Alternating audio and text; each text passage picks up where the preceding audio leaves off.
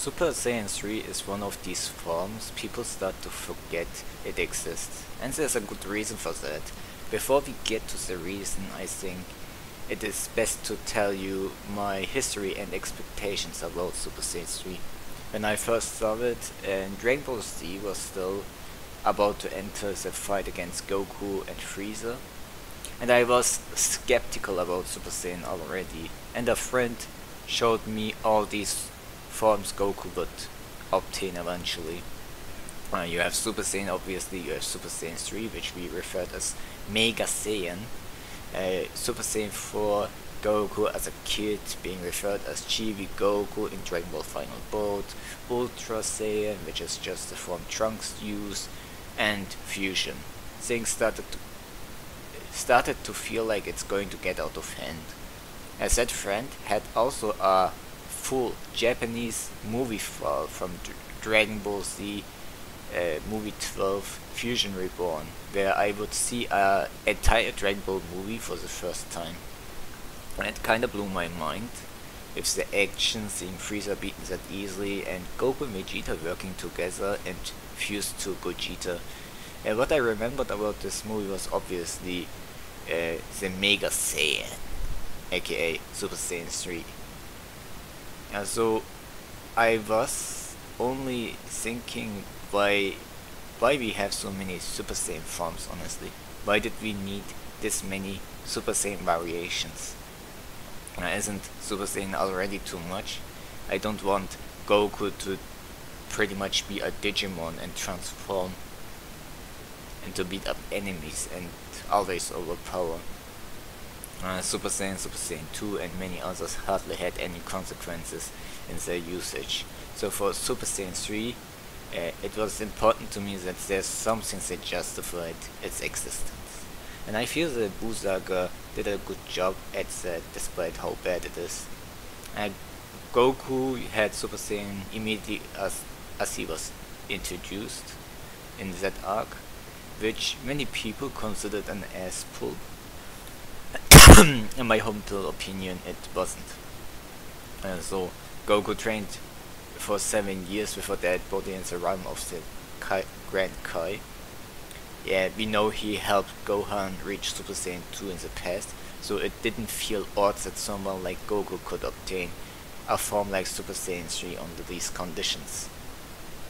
Uh, Super Saiyan 3 also came with a few interesting things, for example, the effectiveness depends on the user, as the place it's used and condition. Uh, the most effective Super Saiyan 3 is in the realm of the dead, while you are death yourself, like in the Fusion Reborn movie. The least effective one, which we didn't see much, is Living Body on Earth. Super Saiyan 3 is hard to obtain to the point even gag parody characters like Goten and Trunks who had seen Super Saiyan 3 transformation twice because the anime is better than the manga and these kinds of things like always with a detailed explanation had to fuse and only could still could hold it just for 5 minutes. So with all these negatives, why even use Super Saiyan 3? Uh, basically it gives your Super Saiyan, four times the power of a Super Saiyan 2, aka a four times boost from your normal state. I think I complained about how pathetic all these forms are in Dragon Ball Super and don't get the job done. Uh, Super Saiyan 3 didn't win a single fight if unless we count Dragon Ball Z movie 13 Wrath of the Dragon, which is another great movie and you should watch it. Uh, but whenever Super Saiyan 3 appeared, it had a certain intensity. As Goku's fight against Buu made him look like a freaking badass. Even in his fight against Kid Buu, he looked like uh, Goku's moves looked like uh, it increased in impactness. In Fusion Reborn, Super Saiyan 3 had my favorite transformation scenes of all Super Saiyan 3s and how it destroyed First Form Janemba was a spectacle. Uh, his uh, how he exchanged blows with Janemba in his transformed state was also pretty much better than every arc, uh, every fight in the Buu saga with the exception of the fight against Kid Buu. I think the ending with Super Saiyan 3 would have been a fine last power up for Dragon Ball despite my love for how badass Super Saiyan 4 is. so, the new power-ups according to Toei and Toriyama can only have an impact if the last looks like a complete looks like complete crap. And this is how Super Saiyan 3's 4 starts in GT and Super, which tried to move away from it. I think GT did a better job. Goku was incapable to handle Super Saiyan 3 in his first fight against Baby, since he was in a child's body and you know how a living body was already struggling, and now you have an untrained body uh, trying to use Super Saiyan 3. But the second rematch against Baby, uh, a significantly powered up Baby, made it look like a complete joke. Goku would replace it with Super Saiyan 3. Eh, Super Saiyan 4, excuse me. And now we go to Dragon Ball Super, which completely ruined Super Saiyan 3 and it's clear why. We are living in an era where we need to shit every where companies need to shit every week anime non-stop. And uh, animators are working under slave labor conditions. Animating something like Super Saiyan 3 would take too much time with all the hair which is why the Super Saiyan forms are just palette swaps now like all the forms in Super palette swaps not only Super Saiyan forms. Look how garbage the fight against builds look like. Makes you wonder why they didn't use the footage from the movie, like in the prior episodes. The worst thing about forms in Super in contrast to GT is how easy they are to obtain, making all previous forms useless, while performing like garbage.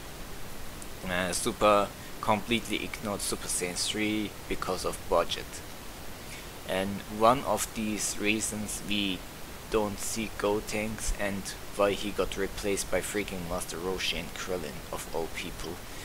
They couldn't have given us Goten and Trunks with Super Saiyan God, uh, since there's a stupid God ritual that is easy to perform, so they don't need Super Saiyan 3.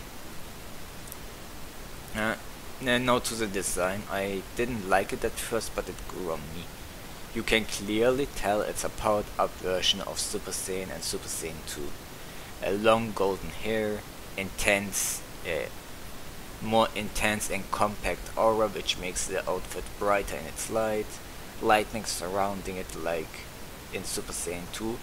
It's a clear improvement of Super Saiyan 2's design and does reasonable a reasonable evolution after it, unlike other forms in Dragon Ball Super which are just lazy and unoriginal and also a high risk, high reward form, which made it reasonable that it didn't get spammed every episode. And whether it it appeared, you know, whenever it appeared, you know shit was real. Unlike, unless we talk about Rainbow Super, which makes every transformation look meaningless. But I don't think we need we needed Super Saiyan 3 since it didn't do much in the long run and it was introduced in a story full of power-ups like fusion and ultimate power, I think it's fine for it to exist. If Toriyama only if Toriyama only made it as something Gohan needs to live up to, like I don't mean Gohan had to have Super Saiyan 3, I mean Goku having Super Saiyan 3 pretty much shows that Goku is now a different realm from Gohan and now Gohan needs to surpass Super Saiyan 3 to show that he is still a worthy successor to Goku and beat freaking Majin Buu. Then I think Super Saiyan 3 would have succeeded in its narrative purpose. Which it didn't. I still like Super Saiyan 3, uh, but things have gotten to a point where even in video games, I wouldn't look forward to Super Saiyan 3 anymore. It's a great form. We had wondered how it would be if Gohan, Vegito and Gogeta had used it. It would it was used sparingly and had few uses like Super Saiyan 4 was had few uses. Now it's third and fifth strongest form and the and the risk makes it very unreliable for it to be used. If Goku were to use Super Saiyan 3 now in Dragon Ball Super it would feel like nothing. Because you know he has far better forms which are more reliable. Toyotaro spammed Super Saiyan 3 in his shitty Dragon Ball Super manga and nobody gives a damn. It was a jobber form pretty much beaten by literal nobodies just like Super Saiyan God. So what do you think about Super Saiyan 3? I don't hate it. I don't think it's as pointless as Super Saiyan 2 and many others.